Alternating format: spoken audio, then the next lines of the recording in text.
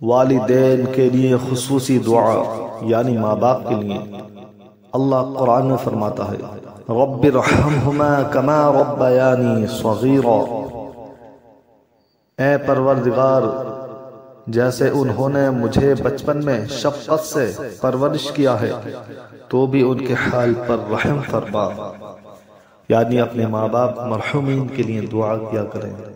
इससे अल्लाह ताला तुम्हारे रिस्क में खैर बरकत और तुम्हें मालदार बना देगा, मुश्किलों को आसान कर देगा। खुद नबी का फरमान है, जिसने अपने माँ बाप के लिए दुआ की, उसकी मुफलिसी तंगदस्ती दूर हो जाती है और वो किसी का मोहताज नहीं रहता।